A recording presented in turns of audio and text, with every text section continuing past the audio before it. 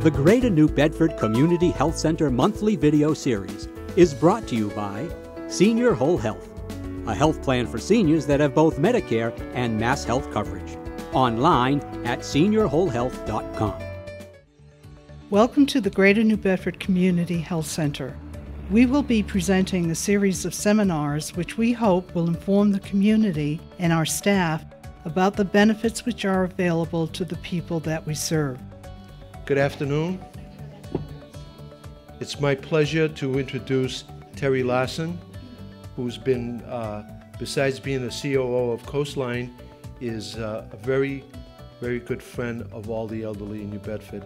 I know Terry going way back when you were with Peabody, and she's just been great for the city of New Bedford, and um, it's an honor to have her come and speak to our group. Thank you.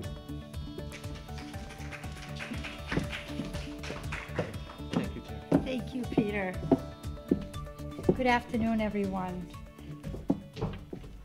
It's a great pleasure to be here. Um, before I do my presentation, I'm going to talk to you about programs that we have at Coastline. And I know there's so many programs. If there's any questions, just raise your hand and I'll stop it because by the end of the presentation, we forget what program we're talking about. We're a AAA agency, which is an area agency on aging. That's our AAA portion of it established by the Older Americans Act. Coastline is one of 629 national area AAAs. AAAs were created to administrate programs for older adults and their caregivers. Coastline is partially funded by federal government through the Administrative Aging and Executive Office of Elder Affairs. Coastline also receives Title III funds that were administered to local councils on aging and other organizations to provide additional services and programs. Aging Service Access Point is what we call an ASAP. So when you hear me say an ASAP, that's what it means. ASAPs were created by the state law passed in 1996. Coastline is one of 27 ASAPs in Massachusetts. The purpose of the ASAP is to ensure quality assurance and accountability in programming and delivery to services to elders. Coastline's mission to provide service and programs that help other adults, individuals with disabilities, and their caregivers continue living in their own home for as long as possible. I think we all deserve that, don't you think so? How do we do this? Access each individual care needs, create a care plan for them, enroll them in programs and services that meet their individual needs. When someone has any questions, they call our information and referral center, and we have intake workers there that speak different languages and are able to help anyone with any questions. And I always tell people, always call because if we can't help you, we'll put you in the right direction to where you need your services. Our I&R specialists screen phone calls and walk-ins to learn their age, their residence, their income, and their needs. Based on this information, the intake referrals each individual to the program and services that are needed both eligible and for their meet their needs.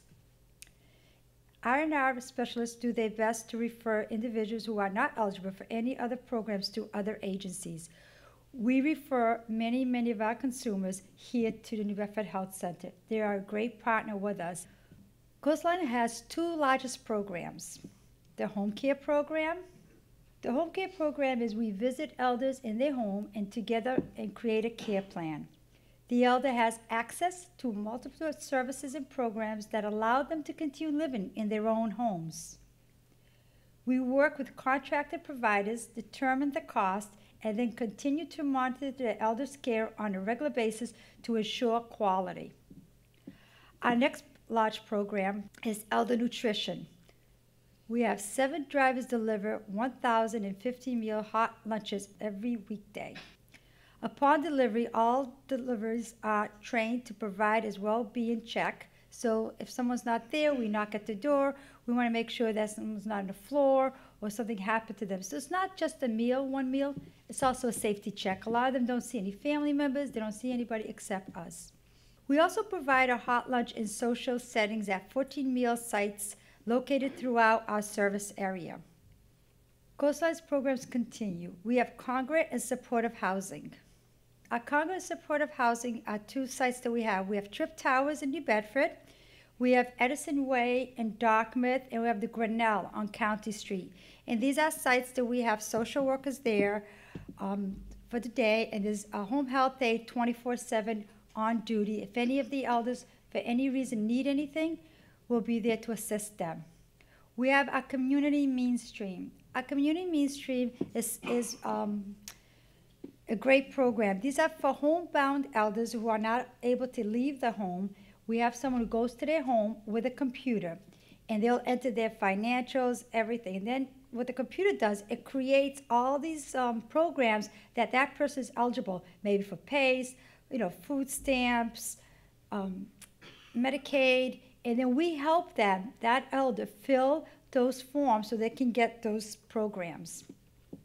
Money management program. Money management program is um, used a lot for protective service, but also for elders who are not able to do their own financial needs. We have volunteers that are trained, that go through the training, that go to elders at once a month, and they will go through all their mail, and they help them get the junk mail, the scams mail, so that nobody pays money they don't need, and they will help them build a budget and help them pay their bills so they can get back into track. Our foster grandparent program, I love this program. This is a program that we help elders who um, can go give them a little bit of stipend every week so that they can go get out of the house for socialization. And what they do, they go into schools to help teachers with one-on-one kids. They go to nursery schools, daycares, and these help they like they call them their grandpa and grandma because these are the kids that need a little tender loving care or need a little bit more outreach or need a little bit more help. They will go to them to assist them. Our senior community service employment program. Our senior program is for anybody who's 55 and older who is unemployed and needs a new skill. And what happens is we take these people, we bring them in, we teach them how to do a resume, we help them go through some career opportunities, and then we look for jobs for them in the community. We give them to um, other agencies at nonprofit organization for a couple of years to see if they like working with them and hope that they will hire them. Through these two programs, we have 160 seniors earning a modest income, learning new skills, and remaining active in the community. Senior care options. Senior care options is we do right now is this we do senior whole health is one of our biggest senior care options, and consumers get to choose um, different a different type of insurance. And when you have the senior care options program, it's a great program because they are able to pay for their medications. They are able to assist them with more things that maybe none of us could do right now. So we work with Senior Whole Health and they've been a great aspect to our elders in the community. Personal care program. Our personal care program is for programs for people who are able to hire their own help. What do I mean by that? Okay, if I have my mother or someone that I know that needs help, but they're able to manage their own help, they're able to hire who they want, whether it's a sibling, a family member, or a friend, to help them maintain their home. So a lot of times we know that families sometimes have to leave their work to go help their family members, but they're not able to because of economic times. So this is a great program that helps that. With that program, we also do um, young children, anybody that is young who has a disability, that we um, do this program. A lot of times, the parents, the mom who take, stays home to take care of that program. Nursing home ombudsman. We have a director who goes with uh, six volunteers, and then we do all the local nursing home ombudsmen. For, those are for people who have complaints in the nursing homes. So they go in there and they go to screen to see is there an issue in the nursing home, and then she does the investigation and reports it to the Department of Public Health in Boston. It's a great program. Caregiver Support Program. According to the U.S. Department of Health and Human Service, one out of every four people is a caregiver for a family. Very important program.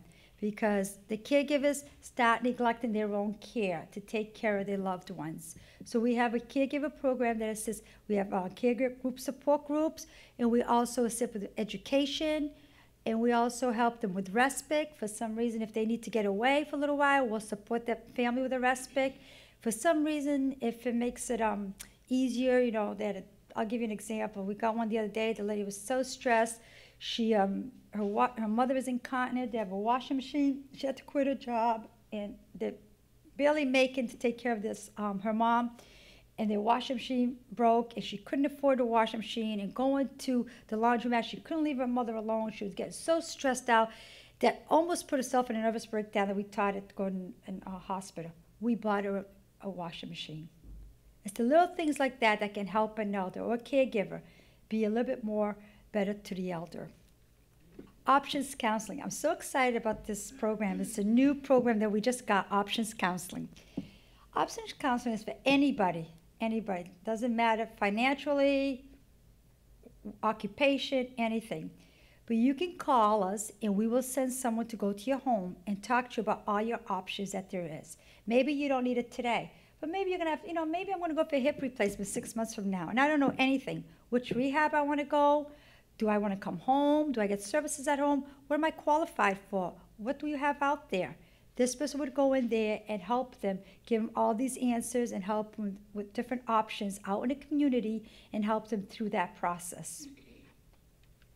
All the Title III programs are local counselings on aging. So all Title III programs that we have that we talked about is we, um, Coastline gives some monies to other agencies like the Council on Aging for social daycare. We, um, we help with transportation. One of the biggest things that I know um, was last week, there was a big press release here in New Bedford for transportation. Transportation is a big need for our, our elders in the community because they either don't have family members or the SRTA bus doesn't able to come where they are. And if there is, I've had elders tell me, Terry, you don't understand how hard it is for me to walk two blocks. Just walking in the pavement is, is hurting my my body already can't take it. Then I don't know if that bus is going to take me to my doctor. I'm afraid. And then when I get to the doc, when I get there, I still got to walk two or three blocks to get to the doctor's office. And uh, sometimes I'm afraid to be in the bus because the people there look scary. Not that they're going to do anything to me, but I'm afraid. So it's a big thing with you know transportation and going um, going that way. So we do a lot of transportation for our elders. Um, and I was at the press conference last week and I was talking about this, and they said, well, it's economics, it's economics. But let's think about this. If you have an elder who can't go to a doctor's office or can't come to the Bedford Health Center for transportation, whatever reason may be, they get sicker and sicker and sicker. What happens? They eventually end up calling 911. They go to an ambulance. The ambulance takes them to the hospital. Now you're talking between what, three to four hundred dollars for an ambulance to pick you up, and then you're talking about two or three nights because you're probably dehydrated. You're probably really sick at the hospital. Now you're talking about five, six thousand dollars that they're gonna have to pay.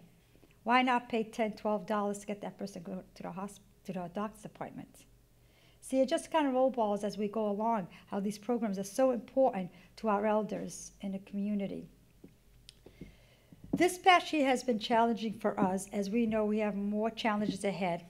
And according to AARP, today 8,000 people will turn 65 years old. And for the next 18 years, every day, 8,000 more people will turn 65. Any questions? That's a big number, 8,000 people every day. Yes. On that uh, caregiver support program, is that just for the elderly? It's for the caregivers. So if a person has a child that's disabled, could you also help them? Yes.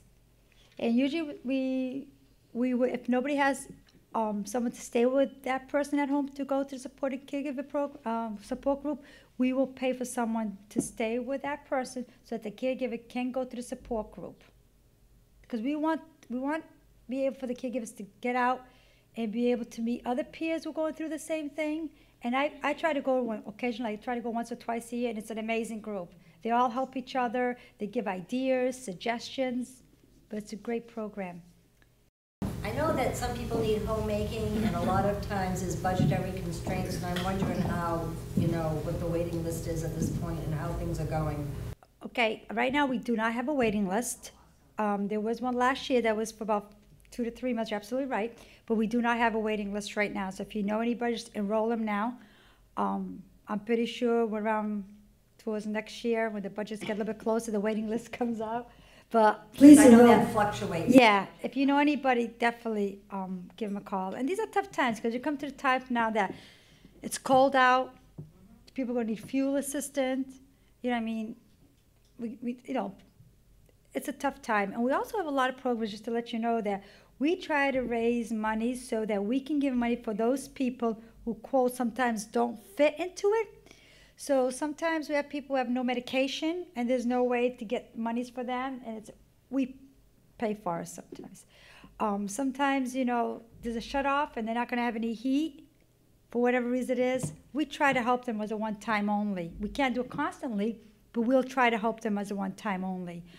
Um, we our goal is to try to keep this elder at home as long as we can, but also give them the quality of life that they choose. Nobody deserves to not be in their home if they want to be home, and that's something that I'm really proud and working at Coastline. And I know that's what Peters and I have a lot in common because we want them to be home and live the quality of life they choose. And there's so many programs out there. We just need to call, call, call our office. And if we can't help you, we, we have a person just all she does is advocacy. She will get you the help. She'll tell you where to go, and she'll you know make appointments for you, and she'll make it work. But I just tell people, please give us a call. Any other questions? Well, thank you. I just want to say that this is a wonderful, wonderful program for the elderly. I mean, I, I know that we all, uh, and if we haven't, we will, have loved ones, ourselves, our family, that have to go through programs like this. And is, isn't it, I mean, I, I went through a period of my life where I had to take, was a caretaker for an elderly dad. And when I look at programs like this that are available, it's really heartening that we're taking care of our elderly so well. And the New Bedford coastline is just absolutely marvelous. I wish to God that I had the opportunity to take care of my father through these services that are available. But uh, certainly, I'm sure he's looking down and smiling that these are available for others. So thank you very much. Thank you, Peter.